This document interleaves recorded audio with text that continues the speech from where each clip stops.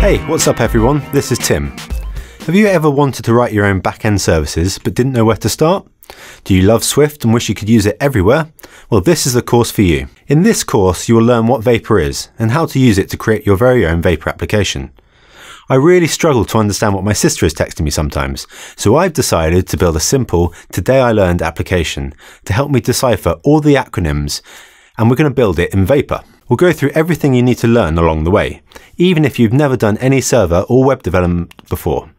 By the end of this course, you will have learnt how to create a complex application that you can talk to via both an API and a website. The only requirement for this course is that you should be fairly familiar with Swift before starting. If you aren't, then check out some of the other great courses on raywenderlich.com, including your first Swift 4 and iOS course and the Programming in Swift course.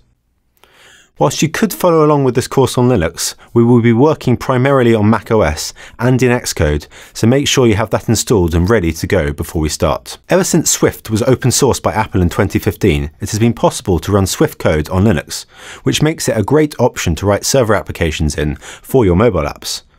It is quick, easy to learn and type-safe, providing a large number of benefits over some of the more traditional server languages and even some of the newer ones a number of web frameworks have emerged that allow you to write fully fledged APIs and web apps in Swift, and Vapor has become the most popular framework due to its community, speed, and ease of use.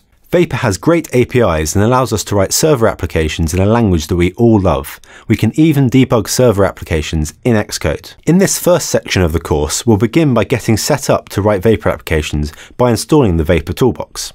Then, we'll build our first simple project so you can see how easy it is to get started with Vapor. Next, we'll look at how to add routes to our application, starting with a simple route and then building up to more complex routes with parameters and nested paths. I'll then give you a quick overview of the basics of HTTP, so we understand all of the terms that will come up during this course. We'll then look at how to accept data from requests, such as sending JSON to our application, and see how easy it is to use with Swift4 and Codable. Finally, you'll be set a challenge to put into practice everything you have learnt in the section to create some of your own routes. It will really be that simple. Just like every other course on raywenderlich.com, this course is very hands-on.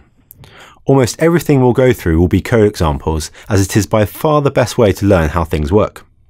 I strongly encourage you to follow along with me throughout the videos and type along so you learn along the way. Don't be afraid to pause or rewind the videos if you miss anything.